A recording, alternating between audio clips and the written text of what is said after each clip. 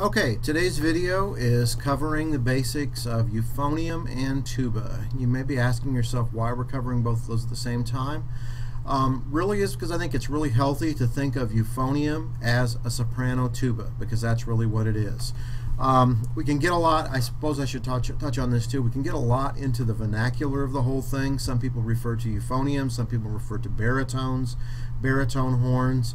There's sort of terminology used um, uh, back and forth uh, pretty easily in that, and people know what you're talking about. Um, some manufacturers designate baritones and euphoniums as different. In my understanding of it, and this might not be 100% correct, a euphonium, which I have here, is basically it is a reduced tuba. This is a king euphonium, and if I took it and sat it next to um, a king tuba of virtually the same model, it would just look like exactly half the size of that tuba and that. So think of again as a soprano tuba. A baritone, which might be designed somewhat a little bit different, is actually more from the British brass band tradition as being the baritone voice of the bugles, if you will. So it's a baritone horn. And it can be a little bit different in terms of bore and design and that, but for our usage within a band setting, Again, you can think of them as interchangeably. Okay? Some things on euphonium. Uh, euphoniums use the same size mouthpiece as a trombone. So everything we talked about in terms of embouchure and such on trombone apply on euphonium. Okay, they apply on euphonium. You will notice this euphonium has four valves, and they have four valves, what are what's referred to often as on top. So we have valve one, two, three, and then four, which has to be controlled once it moves with my pinky. That is not the best design in the world, but this is probably the cheapest way to design a horn. Why do we need this fourth valve? Again, because of the whole um, cumulative pitch error idea, CPA, the compensation that we have to make, because our one and three fingerings, our one and three fingering is very, very sharp our 1, 2, and 3 fingering is very, very sharp. So instead of 1 and 3, we use fourth alone. Instead of 1, 2, and 3, we use 2 and 4 alone. Okay? Um, so that's that. You'll also notice, many of you, that some euphonium models have the fourth valve on the side over here, and then it's played with the index finger on the left hand. That is actually the preferable design because obviously your index finger has uh, much more uh, freedom of movement and strength than your uh, right pinky does. Um, but those models do tend to be more expensive. Um, one other thing, going to just touch on it too, is we have two kinds of euphoniums generally.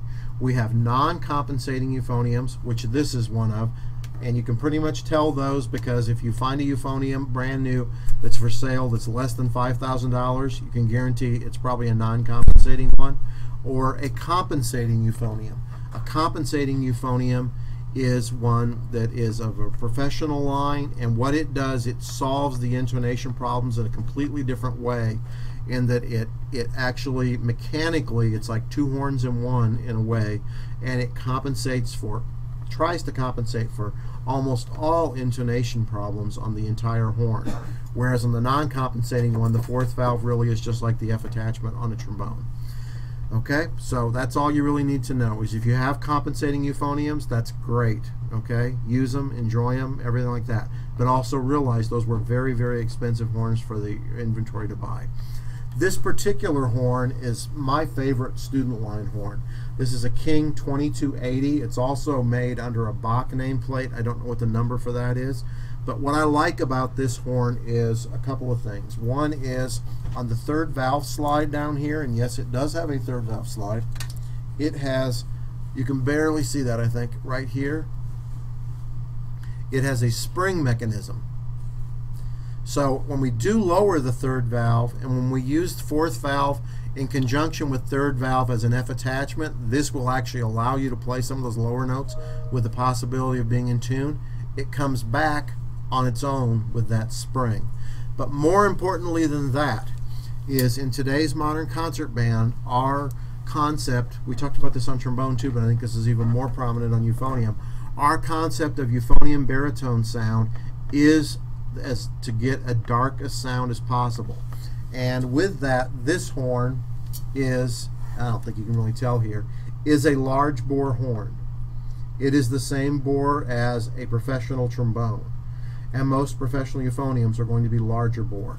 The ones that most of you saw in middle school for sure and high school possibly that looked just like this, that were probably silver and Yamaha, are not large bore horns. And just like on trombone, it does make a big difference in the tonal concept of having the large bore horn versus. So for the same price as the Yamaha, this King, you get a large bore, and I think you get a better built horn overall, and uh, the potential for getting much better sounds out of those th these instruments than um, with the uh, traditional small bore four valve horns.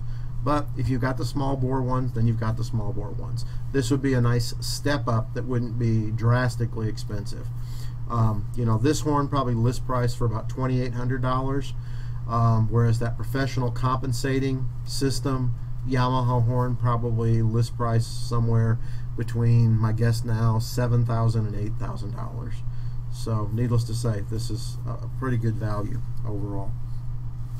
Assembly of the mouthpiece, everything same. Sound production, the same. Holding the instrument, we need to address that. Again, we cradle a euphonium. I'm going to back away from the uh, camera here a little bit. We want to bring our left hand under the belly of this, and because I'm taller, I cannot let the euphonium set in my lap. I'm going to go ahead and put the mouthpiece in to get the full effect. So we want to set correctly and then bring the euphonium to our face. So we're still setting correctly. Well, that doesn't allow me to put the euphonium on my lap. It can't set. If I put the euphonium on my lap, there's where it is. Even in here, in university band, you can go downstairs and look at people. You'll see great big tall guys and maybe girls playing euphonium that immediately shrink down like this to play because nobody ever told them as they grew, you can't keep that thing on your lap anymore. You have to bring it up. Now, one thing you can do with some kids as they move up is teach them to have a pillow on their lap. They can store the pillow in the bell of the horn or whatever, and uh, that can help to give them a little bit more balance, especially if they're kind of slight. Um, that might help. But it does need to be cradled up. It needs to be cradled up here. And with most of your little kids, it will set in the lap. It will set in between their legs and that. But as they grow, you can see where that mouthpiece hits me. You have got to teach them to bring it up and that's most easily accomplished by bringing it against the body and cradling it. The right hand, it depends on the design of the valves, which can be different. Notice my four fingers on the valves, that flat C concept, but I want to show you my thumb. There's a brace here. I can keep my thumb underneath, and then when I push a valve down, that gives me some leverage so I can push. Whereas if that thumb's in midair, I have to work a lot harder. So take advantage of the fact that that bar is there. Okay. Um, other things with euphonium, let me think. I think in terms of basics, that's really just about it. And we'll go on to some things that will, uh, since so much of it is like trombone in terms of sound production, we don't need to go into any of that because we've done that on trombone and you guys have all played trombone. Okay. Tuba and I don't have a tuba up here because I couldn't probably get it in the picture anyway, and I was too lazy to drag one up, which is bad, but I'm going to admit it. It's the truth. Tubas, from my money, tubas come in full size, tubas come in three quarter size. And since we've been talking uh, specifically about beginners here, I want to start by talking about three quarter size tubas. I am not a fan of young kids, no matter how small they are, playing three-quarter size tubas. Um, I think any student, any size, virtually can play a full-size tuba, and the biggest reason is is they have to learn to deal with the. It's not really it is resistance, but it's the it's the degree of resistance that the tuba has, and that three-quarter size tuba can really mess with their approach to the larger tuba later. Um, in a pinch, if you've got three-quarter size tubas, you know, maybe use them as home practice instruments and that. They store a little bit easier than a full-size tuba, but they just don't sound very good, to be really honest, um, uh, the three-quarter size tubas. And uh, you're going to have to make that transition anyway. And in judging contests around the state and stuff, middle school contests, I have seen the most petite, short girls carrying full-size tubas on the stage and not having any problem with it. One thing that really helps with tubas, somewhat like euphonium, is something to rest it on, a base. What you'll notice all the tubas around here have in Dr. Wass's studio is they will buy a cheap or maybe an expensive drum throne. You can buy a, a drum throne, the throne a drummer, a set drummer sets on to play trap set. You can buy a cheap, you can find one for around $30. And what they do is then they just modify the seat sometimes making it smaller, maybe maybe making cutting a piece of wood and covering it with padding or whatever, so it's it doesn't take up as much space. And then you can change the height of that drum throne, and they set the bottom of the tuba on that throne. And then the horn is just all you're doing with the horn is balancing it. You're not holding it, and you can bring your body up to it. And that's ideal. And even a, a very small, petite, a 90 pound, 4 foot 5 girl can play a full size tuba with the right sort of uh, mount to put it on, like a drum throne or something. So um, it's just something else. It would be something at your school that you could have a set of. Um, you could have kids get their own, whatever you'd need to do. And that um, tuba is different. I used to always have a set of school rehearsal tubas. Um, so the, you know, like I say, that the most that was were in a class was four. We would have four tubas, and they would stay just in the back of the room uh, securely, and every tuba player would use the same horns all day long, beginners, advanced, whatever. They would have their own mouthpiece. They would share the same stand they used it on. Each one of those kids, though, also had a horn at home because bus drivers don't like tubas. They don't like euphoniums or trombones much either, but they really don't like tubas in terms of the amount of time. And if you want to get a kid quit band real quick, have them carry a tuba case back and forth every day they're just incredibly awkward. Um, and you do need a case or the horn gets all dinged up and everything. So school set, home set. And so that's something you have to think about is how many tubas would you have to purchase to have that or have in your inventory.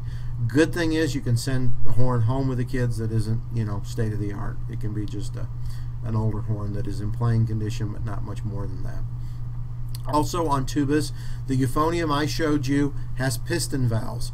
Many, many tubas have rotor valves like French horns, though they're mechanical, not string. I don't think you'll find a tuba with rotor valves that has string. The valves are so big and the weight so intense that you'll be breaking strings all the time. They're mechanical linkage is what it's referred to as. Some people prefer the rotor valves, some people prefer the piston valves. The rotor valves overall are take less maintenance in terms of regular oiling and stuff. However, when you drop one or bump one and it gets knocked out of alignment, it's a much more expensive and complicated repair. The piston valves require, just like a trumpet or whatever, and because they're so big, um, it's a little bit more cumbersome. They require pretty regular oiling and cleaning and such like that. Um, a lot of uh, around here, uh, the tuba students seem to like piston valves better. Some people think they're quieter and remain quieter over the life of the horn.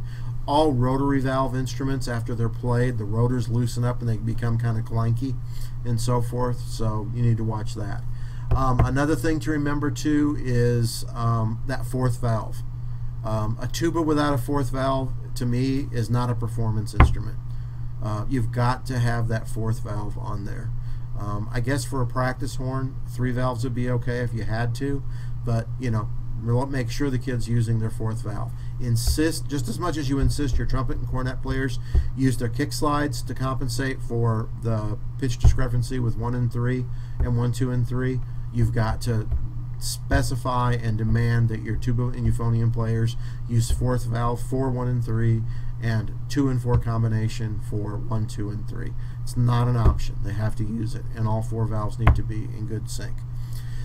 Um, you will notice a lot of times tuba players that are of a higher level moving slides around for different notes and things like that. Don't be too concerned with that. That's nothing that you're going to be dealing with until a child is old enough and sophisticated enough to be working with moderately sophisticated literature that they're going to be working on tuning things to that degree or whatever. Or maybe you discover something in a in a uh, piece for that they have to make a pitch adjustment for something. I can remember one time with the horns we had. Um, we were playing Carmina Burana with my junior high band, and uh, it opens with uh, the second movement. I believe the second movement opens with a. The tubas have a drone of a D just for forever, and the one and two fingering uh, just wasn't. It was always a little bit sharp on all the horns, and that. So we worked with them on their. They pull their first valve slide when they got to that section, about an inch each one of them, or whatever for that particular player had to do to be able to hold that long D. It was too long to make an adjustment with the embouchure and be consistent. So we just had them make an adjustment, and then as soon as they were done with that part, they'd pop that slide back down in in that. So that's just some of the things you have to do more often than not.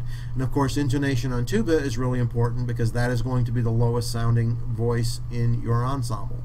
And uh, based on where the lowest sounding voice is, everything else has to line up with that. So if your tubas don't play well in tune, if your tuba players aren't taught to be specific about pitch and correct fingerings and such and correct adjustments, you're going to have a hell of a time trying to get the rest of that ensemble playing with them to match up in any kind of a vertical uh, tonal structure. Uh, speaking of tuba uh, themselves, probably the Warhorse standard tuba for public school use is a Miraphone tuba. It's a German-made instrument. They last forever if they're taken care of. There are Miraphones still being played at in schools that I would bet are 40, 50 years old that are still functioning quite well. Valves might be kind of rattly, but they still function well. The Yamaha tubas are like all Yamaha instruments. They're copies of the Miraphone instrument tuba, and uh, they're okay. The difference there, though, is because it's Japanese. It's an from the Orient a horn. Um, the metal's rolled thinner, and so they dent easier and such. So um, you've got to watch that. Um, of the U.S. horns, probably the most popular one are the King models. Uh, it's the tuba version of the King euphonium I showed you and that. In terms of mouthpieces, didn't talk about this on euphonium. Same as trombone, standard mouthpiece on the euphonium is a Bach 6.5 AL or its equivalency in another brand. Standard tuba mouthpiece would be a standard tuba Helleberg, Conn Helleberg mouthpiece. Um, for a long time, people used a, a lot of people used a Bach 24AW. That has really fallen out of favor in terms of producing a resonant tone through all registers and stuff. Some people feel you really have to fight that a lot, so that's fallen out of favor. And uh, you've seen going more to the Helleberg standard. There are different sizes of Helleberg. The standard is the most common, so make sure you are getting having them get the standard. Again, that's an expensive mouthpiece. Tuba mouthpieces are expensive in themselves, but your tuba player is not going to initially anyway be buying a tuba. So their investment in band, participating in band, is that mouthpiece. So require them to have the mouthpiece you want, require them to have a, a, pouch for that mouthpiece so when they're transporting it from school and home and so forth that it doesn't get dinged up. And inspect those tuba mouthpieces every so often to make sure, as well as all brass mouthpieces, but tuba mouthpieces get seem to get dinged up more than any others, that the um, receptor end right here is completely circle and you can straighten those out yourself um, with a, the, the the flanging tool that you can buy. You probably should have in your school repair kit. I'll try to remember to show you one of those in class. One of the thing talking about tuba is what we're talking tuba is sousaphone. Um, first off, unless you really know what you're doing, do not go into marching tubas or marching basses. Um, ask any of your friends that have marched drum corps how physically demanding that is to hold those instruments. It's incredible. You will have everybody quitting and crying and everything else under the sun. Sousaphones are very ergonomical, though they're a little tubby and stuff, and you can't do the most advanced, maybe um, general effect moves on the field that uh, you maybe can with a smaller horn.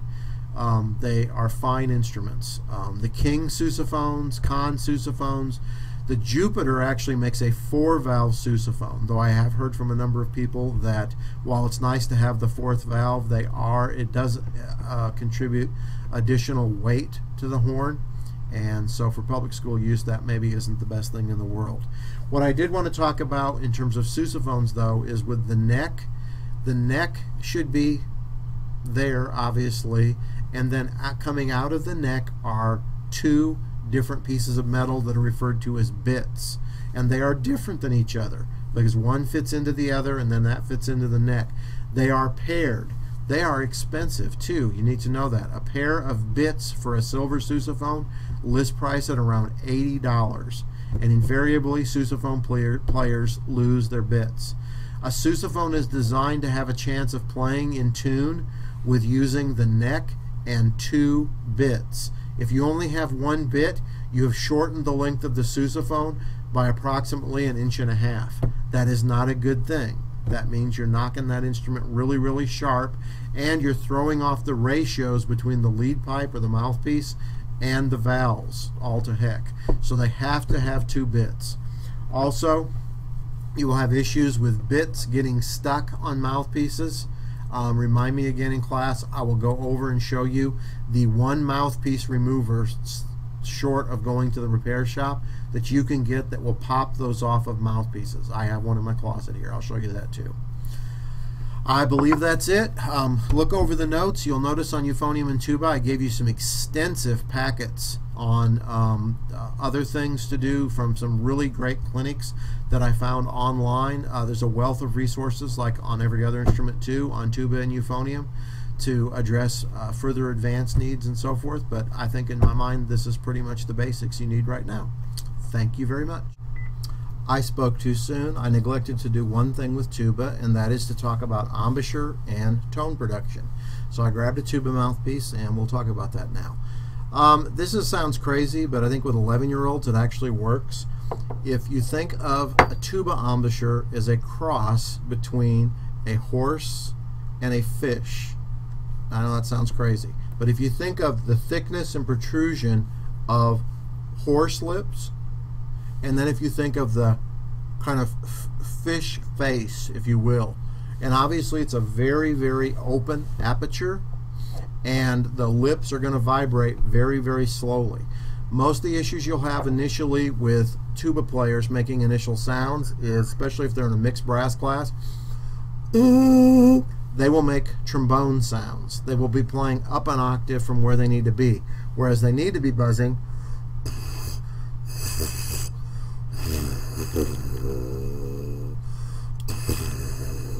down in there. And that's really, as you could tell from me doing it, that's really, really hard to do because when you try to buzz that low, there's very, very little resistance. But that's what you want to do. So initial sounds on tuba are almost always best made on the entire horn rather than the mouthpiece by itself. Um, this is one of Dr. Wass's tricks too that I think really makes sense. If you cup your hand and if you think of the size of a trumpet mouthpiece, blowing a trumpet sized airstream in terms of the mouthpiece. So you're only hitting like maybe one section of your knuckle right there. Then if you think of trombone being an octave down, needs to be twice that width. So now you're like two knuckles wide. Then tuba, because it's an octave lower yet, you have to be twice that. So it's really what a tuba player is doing is you hold your palm up, is you think of filling your entire palm with air. And that's the airstream, the variety of an airstream you need to play tuba. It's it's almost that Darth Vader kind of voice, which you could tell from that, and it's that whole idea of filling up the entire inside of our hand with air. Now, what are the kids going to notice? That, oh my God, I run out of air like in two seconds. And everybody does. That's just it. That's why it's easier to start on the instrument itself because with the added resistance, and the resistance on a tuba is very, very slight, probably the least resistant of any brass instrument, with that added little bit of resistance, their air will last longer. But they're still going to have to be really masters of expansion of air, their air capacity, and then dealing with the air as they move on. But you do want to get them playing low and warm sounds right from the very beginning. And of course, compared to trumpet, especially the with the resistance, those of you playing trumpet right now should totally understand that. It is the antithesis of it in terms of the way the air is passing out from the aperture into the mouthpiece. Now we're done. Thank you.